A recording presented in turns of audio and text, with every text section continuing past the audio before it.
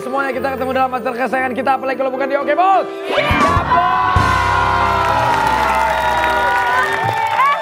Ah, ada yang beda hari ini. Apa tuh?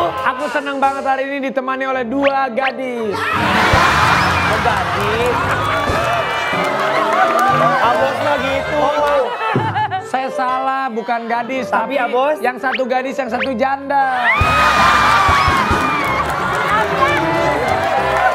Bukan abos. Yang satu gadis cantik, yang satu laki-laki yang ganteng. Sekarang kita main sulap. Abos, Ini baru seru. abos bisa Ya, sulap. udah bisa sulap. Ah, biasa main sulap sama Rafathar ya? Lihat. Kosong, Kosong. kosong, kosong.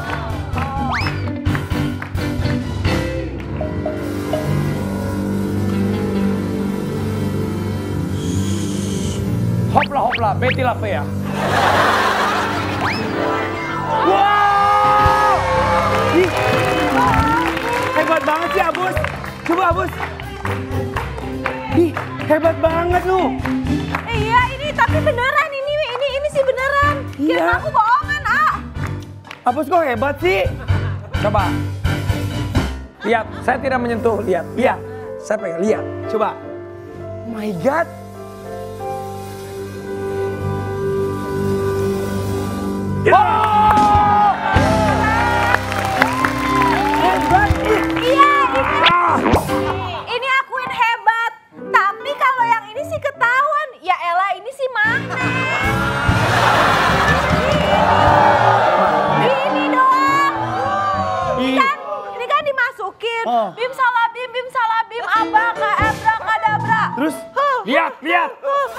Lihat. Tuh, ini bisa keluar dari sini.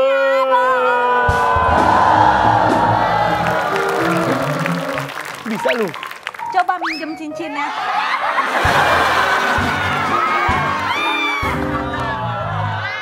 Mana? Mana? Eh, Mana?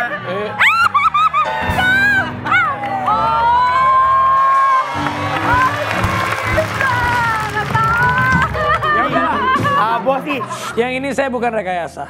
Apa? Ada apa, Bos? Konsentrasi. Dalam hitungan ketiga, ada seseorang bintang tamu datang. Hah? Satu, dua, tiga, silakan.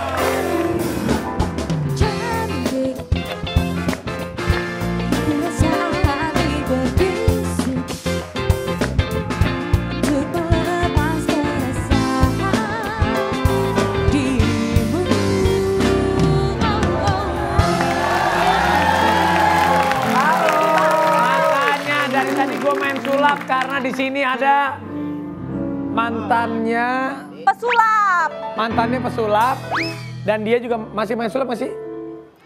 Ah bisa nggak sih move on? Ah tuh nggak bisa move on. Gak usah gitu loh ngebahas ngebahas yang udah-udah yang tadi disebut itu dia belum bisa move on yang yang, yang tadi disebut itu kali ya. Iya, belum bisa move on tuh. Tesan. Yang udah ya udahlah ah. Iya, ah, jadi Bukan. Nggak usah dibahas lagi. Bukan. Kita mengulang lembaran baru gitu loh. Tuh, A gitu. Bukannya apa-apa. Tuh begini tinggi banget. Aduh, teh apa Tinggi kabarnya? banget ya. tinggi banget Tinggi ya. banget. Emang Enak ya? aslinya tingginya berapa sih teh? 175an. 175. Tuh, tinggi banget. Pendek banget segini.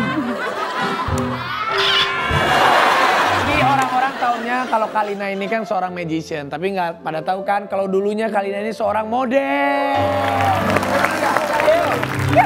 Emang benar dulu seorang model teh. Dulu udah lama banget. Jadi Eh sebelum asli Sunda, nih, Sunda ya? Bukan. Eh mana sih? Betawi. Oh Betawi. Emang bener Pak dulu eh, model dulu awalnya? Dulu, dulu. Emang ceritain deh dulu, emang waktu jadi Kalina jadi model kapan sih? Aku waktu itu di tahun 99. Jadi waktu itu sempat Oh tahun 99? 99 gitu. Jadi masih kinyis-kinyis banget tuh. Jadi aku di catwalk. Dulu sempet em, jadi pas lagi eh, jalan sama mama ada salah satu asistennya Mas Aji Notonegoro tuh manggil aku terus aku dikenalin sama Mas Aji terus aku disuruh datang besoknya untuk ke tempatnya Mas Mas Aji. Tiga kali datang aku nggak balik lagi. Hah? Kenapa? Kok nggak balik lagi? Aku dikatain terus soalnya aku tuh waktu itu kan cowok banget kan, nggak bisa pakai heels sekali pakai heels jatuh terus pakai heels jatuh terus gitu kan. Jadi ya keluar aja nggak mau balik lagi. Dikatain cowok banget, ini dikatain cewek banget ini.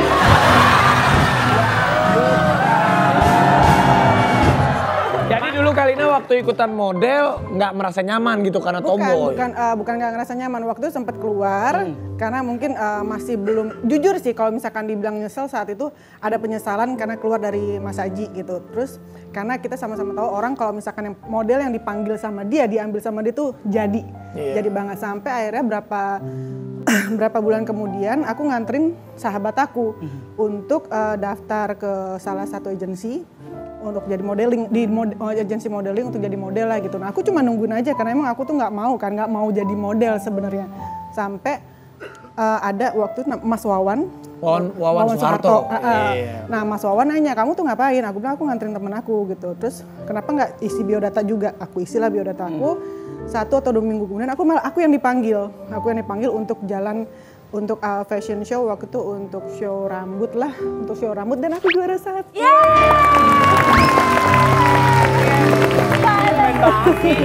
Jadi waktu itu akhirnya juara satu. Akhirnya lanjutin karir sebagai lanjutin model. uh, sebagai model sampai awal tahun 2001 uh, tuh ketemu sama Dedi, Mhm. Semu- ketemu sama Mas Dedi, terus udah deh nggak boleh ikutan modeling lagi. Oh jadi sama Mas Dedi Kalina nggak boleh jadi model? Uh, waktu itu udah nggak uh, jangan ikut-ikutan modeling lagi lah gitu. Oh kenapa? Karena Mas Dedi cemburuan kali ya banyak cowok-cowok. Bukan, bukan karena apa ya mungkin dia punya alasan sendiri kenapa aku tuh nggak boleh uh, kerja lagi. Jadi pas pokoknya selama sama dia udah nggak nggak nggak boleh. Tapi ini bagus dia menghargain keputusan siapa laki-laki yang di sampingnya dia. Ini baru banget.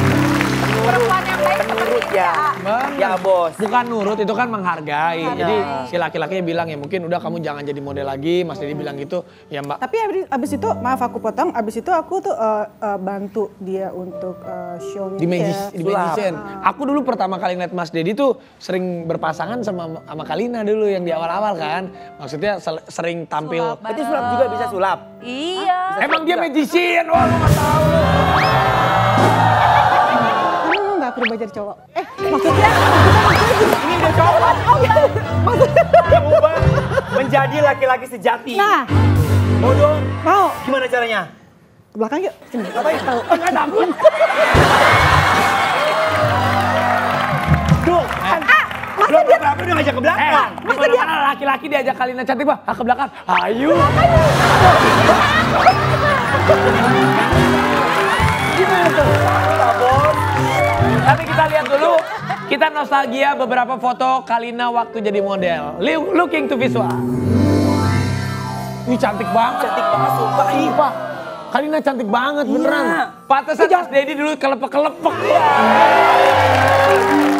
Kalina, aja. tapi waktu jadi model, kalau catwalk katanya sering kepleset melulu ya? Dulunya Jatuh melulu. awal-awalnya, awal-awalnya sempet uh, makanya waktu itu kan pas di awal-awal tuh aku tuh nggak uh, nggak biasa pakai heels kayak gitu. Jadi belajar di rumah pakai heelsnya mama jatuh-jatuh. Makanya itu kenapa aku nggak balik lagi bukan karena bukan karena aku nggak mau tapi karena bukan karena aku nggak bisa saat itu. Karena tomboy dulunya jadi Ah, susah deh jalan catwalk. gitu, heeh. Terpleset melulu. dan Kalau dan waktu itu em, sempet sempet agak sedikit nggak pede sih karena maksudnya aku tuh kan mulai bang, mulai semuanya itu dari nol banget.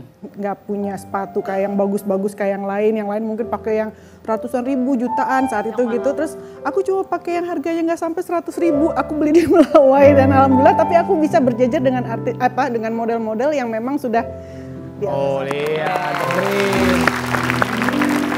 Jangan minder, maksudnya gini loh.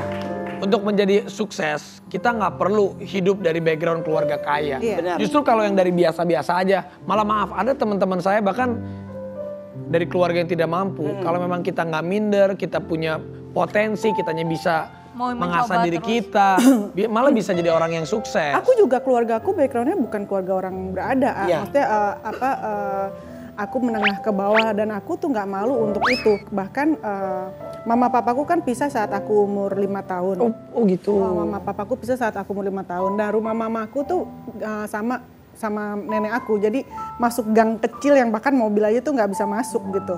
Jadi kalau misalkan dulu kalau pas uh, Mas Dedi kasar kayak ngapel aku tuh, udah dia kayak diarak gitu, diiringin di, di apa sama anak-anak di kampung gitu yang udah sampai masuk ke dalam depan rumah. Apalagi Mas Dedi kan dulu rambutnya kayak pendekar Hong Kayak Kong. Mickey Mouse kan? Mickey Mouse. Mickey Mouse. Nah, kalau ada orang yang pengen lihat botak gondrong ya dia saat itu. Iya. Mas Dedi tuh harusnya masuk muri loh. Yang botak gondrong tuh dia. nggak Iya, ada. ya. Tapi aku sangat salut sama Kalina sama Mas Dedi karena ya memang kan nggak ada ya nggak ada lah eh, rumah tangga yang mau berpisah kan nggak ada. Tapi kalau memang suratan takdir begitu ya harus bagaimana lagi. Tapi hebatnya apa? Mas Dedi sama Kalina meskipun sudah berpisah bukan suami istri lagi, tetapi mereka bisa menjadi sahabat malah bisa menjadi adik kakak. Mereka berhubungan baik. Itu yang luar biasa. Gimana sih? Nggak, kan orang rata-rata nih kalau udah cerai nih wah nggak, udah ya urusan anak juga kadang ya udah, udah, udah. Tapi kalau. Kalina tuh bener-bener masih Karena bisa iya. kayak adik kakak malah kayak keluarga gitu. Um, aku terlalu mencintai Aska gitu. Jadi aku tuh nggak mau jauh dari anak aku. Iya. Jadi um, aku- sebisa mungkin aku pengen sesering mungkin datang ke rumah anak aku. Jadi kalau aku bermusuhan dengan papanya, anak aku kan tinggal sama papanya. Aku sulit untuk ketemu sama Aska. Jadi aku um, mencoba supaya bagaimana sih menciptakan bahwa walaupun sudah cerai itu masih seperti saudara, kita uh, uh, tali silaturahmi jangan sampai putus gitu. Tidak mudah setelah pisah tuh sep- uh, menjadi seperti aku sama Mas Dedi sekarang. Prosesnya tuh cukup lama gitu. Makanya kalaupun misalkan kayak sekarang Mas Dedi punya sama Sabrina, aku sama Sabrina tuh kita udah kayak adik kakak banget. Aku sayang banget sama dia begitu juga sebaliknya. Dan kalau aku sama misalkan aku ada pasangan pun mereka tuh harus mengerti aku sama Mas Dedi tuh seperti apa.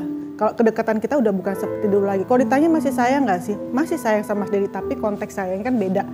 Aku menyayangi dia seperti kakak, bukannya seperti suami lagi atau pasangan lagi. Jadi kalau ada yang cemburu capek, seumur hidup cemburu sama Mas Dedi gitu aja. Emang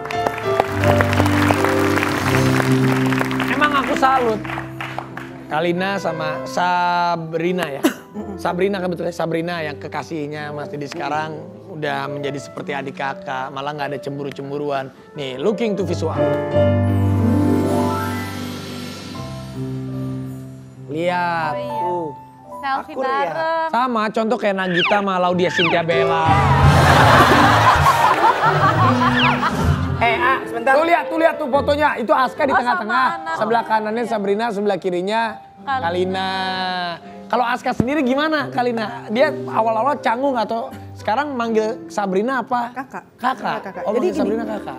aku selalu bilang sama Sabrina pun maksudnya eh, pasti ada Aska tuh sempat ngomong sama aku apa yang dia suka dan dia tidak suka. Nah, di sini aku jelaskan bahwa siapa pun yang menggantikan posisi ak- eh, bu- bukan menggantikan sih maksudnya yang menjadi pasangan aku atau Mas Dedi itu bukan menggantikan posisi orang tuanya Aska, tapi menjadi kakaknya Aska. Dan itu yang harus dimengerti sama mereka. Dan di sini Sabrina itu menempatkan dirinya itu bagus banget.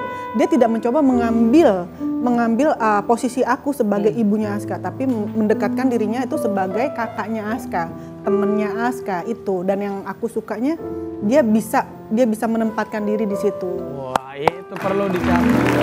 Memang benar itu. Memang benar loh, karena komunikasi itu penting.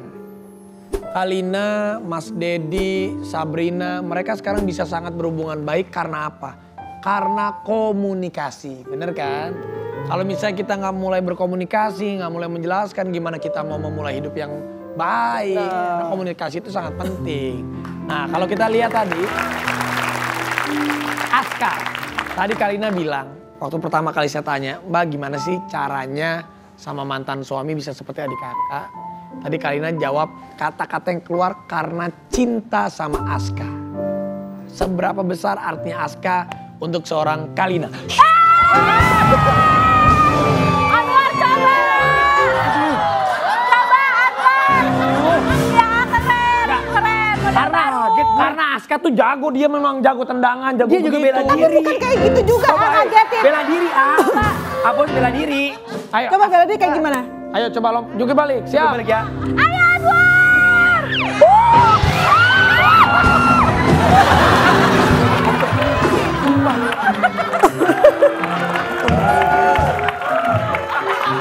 Bentuk bentuk Bukannya apa-apa tanggung. Apa? ya? Harusnya kejedot biar rating. Coy. Kita biar bos. Iya bos.